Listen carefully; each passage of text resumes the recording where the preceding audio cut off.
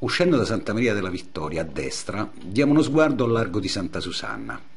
Possiamo vedere la ex sede dell'Istituto Geologico, rarissimi esempi a Roma di stile Liberty, con una innovativa struttura metallica, ampie vetrate, progettata e costruita da Raffaele Canevari, romano, tra il 1873 e il 1879, sul terreno del monastero della Chiesa.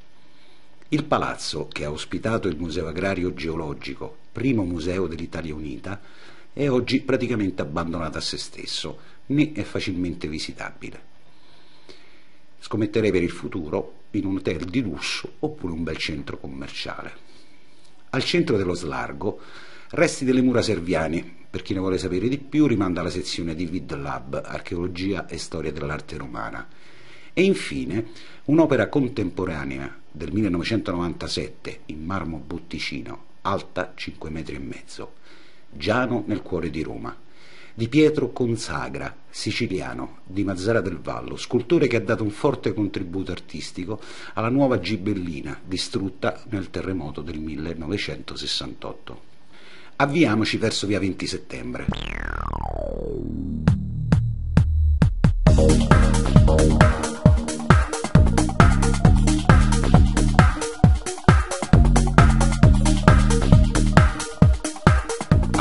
Destra la caserma del reggimento dei corazzieri, ricavata nel 1870 da una parte del preesistente monastero collegato con Santa Susanna. A sinistra la chiesa metodista, dalle interessanti vetrate, e la chiesa presbiteriana scozzese di Sant'Andrea, patrono della Scozia, e la cui croce insieme a quella di San Giorgio, patrono dell'Inghilterra, e San Patrizio, patrono dell'Irlanda, formano la bandiera del Regno Unito. Arriviamo alle quattro fontane, un punto che fino all'unità era un punto panoramico tra i più belli. Dove questa strada si incrocia con l'altra lunghissima strada felice, ei dispose ai quattro angoli quattro fontane, troppo meschine per un sito il più bello di Roma. Così ci informa il Milizia nelle sue memorie degli architetti antichi e moderni, riferendosi a Domenico Fontana, l'architetto di Sesto V.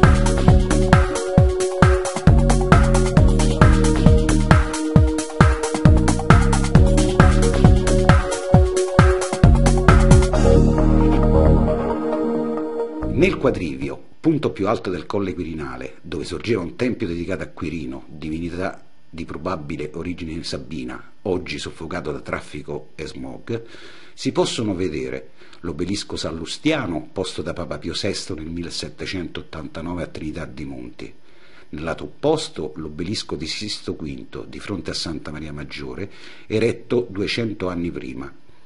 Nel lato verso il Quirinale l'obelisco posto nel 1786, sempre per volere di Pio VI, e nel lato opposto, in fondo, porta via l'opera michelangiolesca. Perché le quattro fontane? Come ho già detto, parlando della fontana del Mosè, il processo di riurbanizzazione della zona voluta da Sisto V partiva dal presupposto che vi fosse l'acqua, cosa che avvenne con la realizzazione dell'acquedotto Felice. Le quattro fontane, ieri come oggi, gettano dalle loro bocche quell'acqua.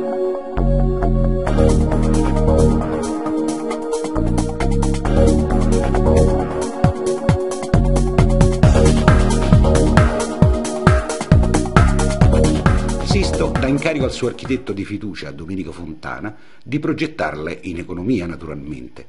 E infatti Travertino e Peperino vengono prelevati dal cadente Settizonio, imponente facciata eretta da Settimio Severo, imperatore di origini libiche, ai piedi del Palatino e le spese di messa in opera vengono sostenute da Muzio Mattei per almeno due, quelle che rappresentano i fiumi, le altre due pare da un certo Gridenzoni Giacomo e da Antonio Grimani, vescovo, forse proprietari dei terreni circostanti, e realizzate negli anni 90 del Cinquecento.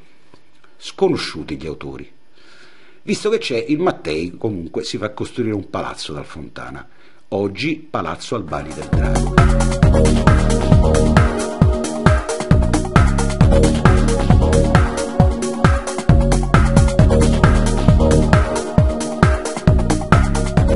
Le fontane mostrano due figure maschili e due femminili, disposte sui quattro lati.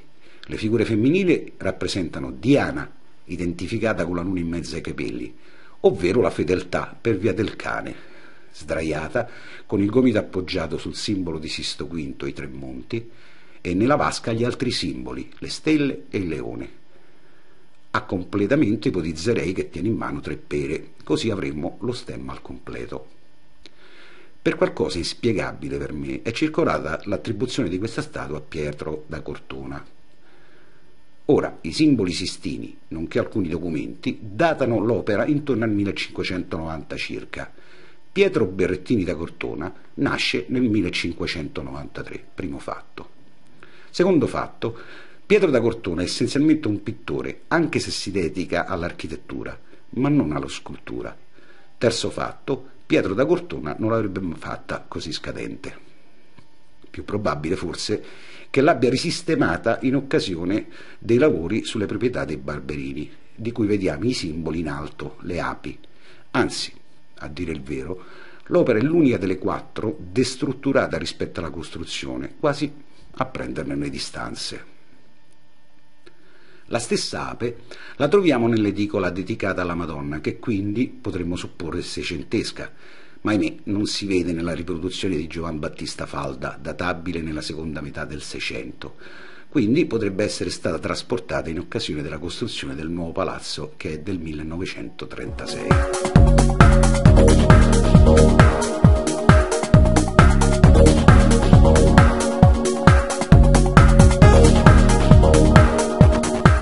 L'altra figura, artisticamente più bella a mio parere, rappresenterebbe Giunone, per via dell'oca, animali sacri alla dea e allevati sul Campidoglio, dove esisteva un tempio a lei dedicato e che a seguito dell'episodio delle oche che allertarono i romani sul tentativo d'assalto dei Galli di Brenno fu chiamata Iuno Moneta, cioè Giunone avvertitrice. La costruzione della zecca nei pressi del tempio è all'origine del nome corrente di Moneta. Qualcun altro ci vede anche la rappresentazione della fortezza per via del leone su cui la dea pone la corona e che potrebbe sempre alludere allo stemma di Sisto V. Il tutto sullo sfondo di una palma frondosa inserita successivamente a partire dal 1667 che emerge da una fitta vegetazione o da uno strato roccioso con stalattiti, fate voi.